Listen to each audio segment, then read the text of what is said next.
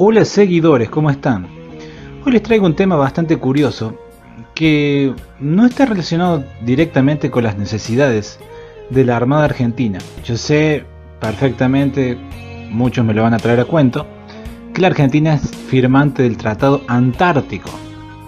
Porque nosotros somos todos hippies, nos eh, damos besos de lengua con las merluzas negras, estamos abrazados con la foca, eh, bailamos con los pingüinos, bueno, no solo que bailamos, sino que también los votamos.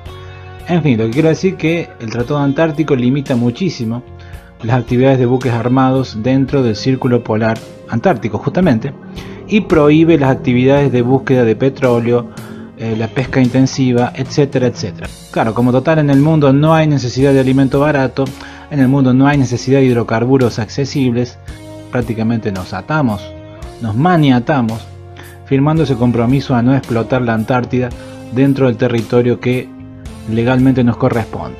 Estos rompehielos armados están principalmente pensados para operaciones en el Círculo Polar Ártico. Recordemos que en el Círculo Polar Ártico, en el centro de ese círculo, digamos las antípodas de nuestra Antártida, no hay un territorio, un gran territorio insular, no hay un continente, tierra firme propiamente dicha. Lo que hay un casquete de hielo que progresivamente debido a los cambios climáticos, sea por una razón o sea por la otra, ese casquete se va achicando progresivamente. Todavía queda mucho hielo, por supuesto. Lo que se necesita, para lo cual se necesita tener buques de mucha fuerza y mucha resistencia en el casco para abrirse camino hasta cierto punto. Eso no tener un continente de tierra firme se compensa, esa desventaja se compensa con el tema de que no hay un tratado polar no hay un tratado del Polo Norte.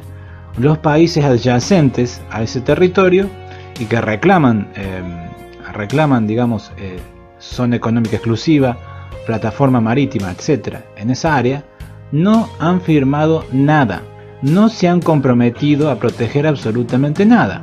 Y de hecho hay países, por ejemplo Rusia, que explota en plataformas petrolíferas dentro del círculo polar ártico explota, bueno, obviamente hidrocarburos. Hay una gran riqueza en el círculo polar ártico y podemos estar perfectamente seguros que hay una gran riqueza, una enorme riqueza en nuestra Antártida. No sabemos realmente hasta cuánto va a durar esta disciplina que tienen muchos países, todos los países que han firmado el Tratado Antártico para respetar esta cosa de no tocar nada, no tocar todas las riquezas de la Antártida. Los tratados lamentablemente muchas veces se pasan por alto, se ignoran, se rompen.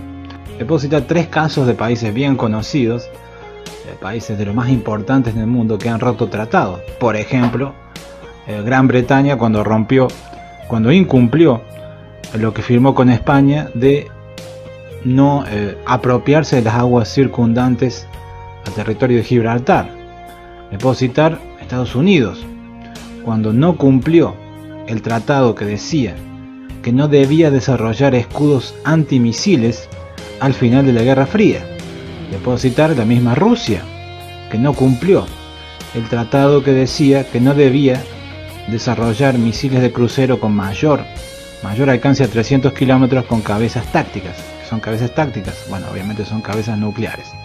En definitiva, los países que tienen políticos inteligentes están atados únicamente única y exclusivamente a sus propios intereses. Cuando ellos consideran que hay una firma, que hay un convenio, que se ha firmado en gobiernos anteriores, en periodos anteriores, que ya no es más conveniente, que ya está obsoleto, van a hacer todo lo posible para, bueno, evitarlo, pasarlo por encima, negarlo, romperlo. Eso deben tenerlo siempre en cuenta.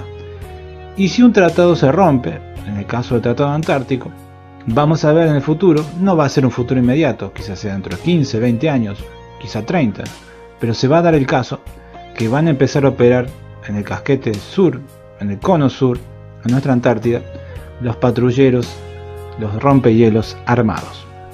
Les voy a dejar abajo unos enlaces para que ustedes conozcan las características, las prestaciones de modelos que ya están en servicio en Rusia, en Canadá y en Noruega.